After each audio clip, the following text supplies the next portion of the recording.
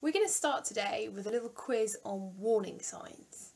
So I'm going to show you a bunch of warning signs that you would see on the roads and I'm going to give you five seconds to shout out what they mean and then the, the answer will be revealed.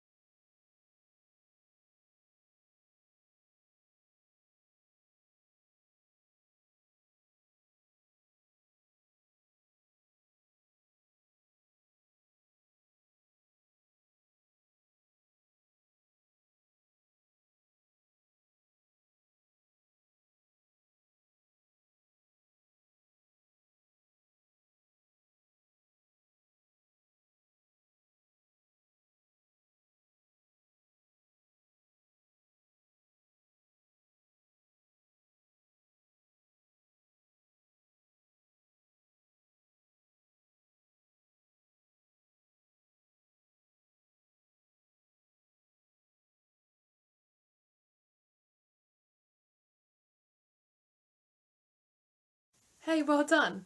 I'm not sure how hard or easy that was, but if anyone got 10 out of 10, I am very impressed.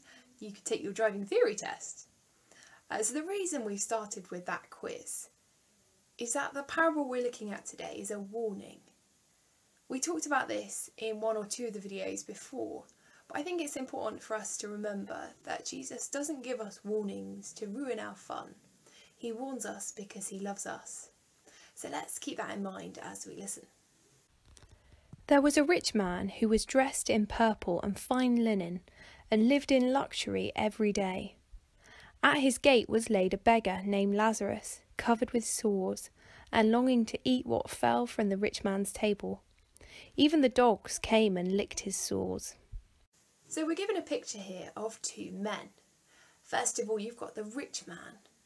Purple and fine linen is kind of the ancient equivalent of top designer labels now.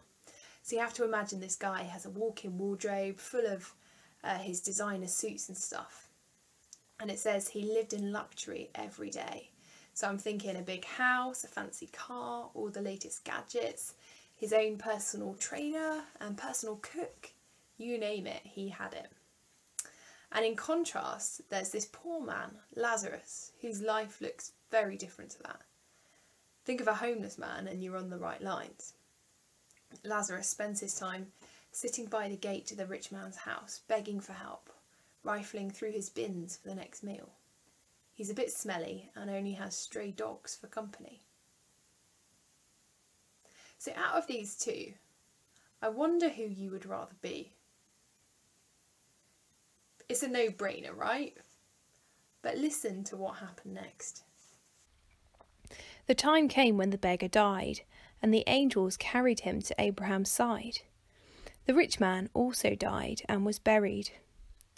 In Hades, where he was in torment, he looked up and saw Abraham far away with Lazarus by his side. So he called to him, Father Abraham, have pity on me, and send Lazarus to dip the tip of his finger in water and cool my tongue, because I am in an agony in this fire. But Abraham replied, Son, remember that in your lifetime you received your good things, while Lazarus received bad things. But now he is comforted here, and you are in agony. And besides all this, between us and you a great chasm has been set in place, so that those who want to go from here to you cannot, nor can anyone cross over from there to us. You might recognise the name Abraham from the Old Testament of the Bible. Abraham was a follower of God who'd lived a long, long time before Jesus. The Jews saw him as a kind of founding father of their faith and their race. So to say that Lazarus was next to Abraham is to say that Lazarus is in heaven. So what we've got here is a total and complete role reversal, right? Lazarus has gone from begging on the mm. streets to spending eternity in heaven. And the rich man has gone from a life of luxury to an eternity of pain and torment. I wonder who you'd rather be now. It seemed like the rich man had a much better life, didn't it? But now we see it was actually the poor man, Lazarus, who had a friendship with God. And as that's the only thing we can take with us when we die, it was actually Lazarus who was better off in life. Now, the super religious people of 30 AD, the Pharisees, are listening in as Jesus tells this story. And I wonder if Jesus is really telling it to them. See, the Pharisees, they looked really religious. And I think the rich man in the story could have been quite religious looking too. Remember how he called Abraham Father Abraham? He probably counted himself as a good Jew, with Abraham as his kind of founding father, and went to synagogue, maybe even read the scriptures. And then back to the Pharisees, the Bible tells us a few verses earlier that in their hearts they loved money more than they loved God. And it looks like the same is true of the rich man in Jesus' story. He was absolutely loaded. So while he was alive, he could so easily have given some of his money back to God by helping poor Lazarus on his doorstep or in other ways. But it looked like he just preferred to keep it all for himself. And his love for money kept him from truly loving God. Now, just like in the parable of the rich fool, which we looked at two weeks ago, I think, with his big barns, the rich man in this story dies too.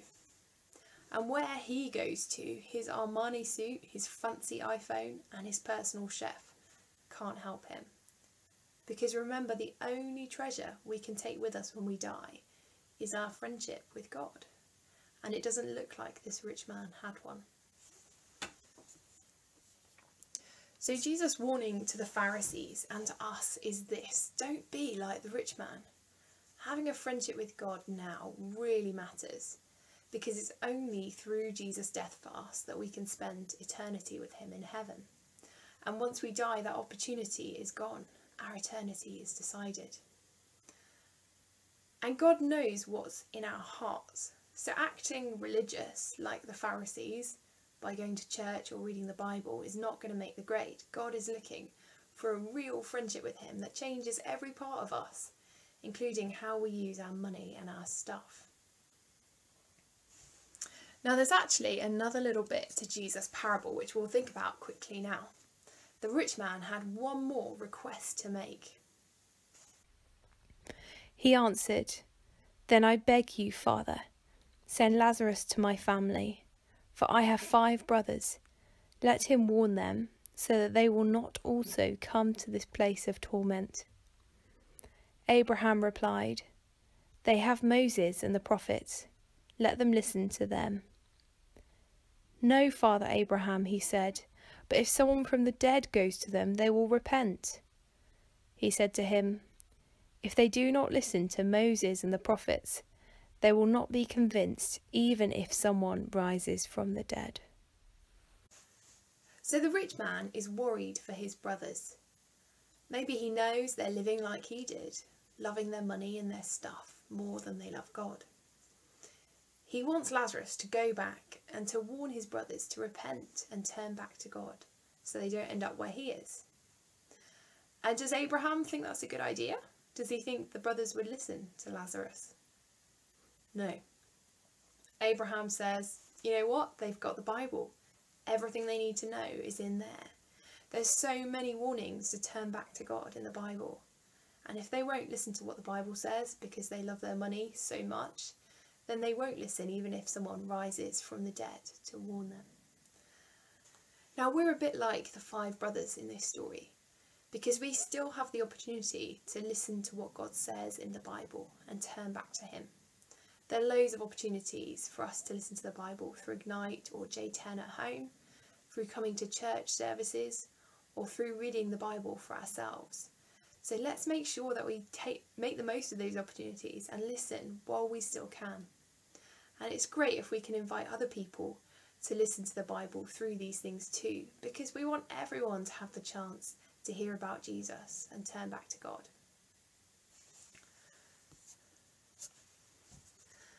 thanks for listening, guys. Uh, I'm just going to say a short prayer now, and if you want to make it your prayer, just say Amen at the end, which means I agree. So, Father God, thank you that the Bible tells us everything we need to know. Thank you that it tells us about Jesus and how we can be friends with you through him. Please help us to trust in Jesus and help us to be careful with our money and our stuff, that they have the right place in our hearts. In Jesus' name we pray. Amen.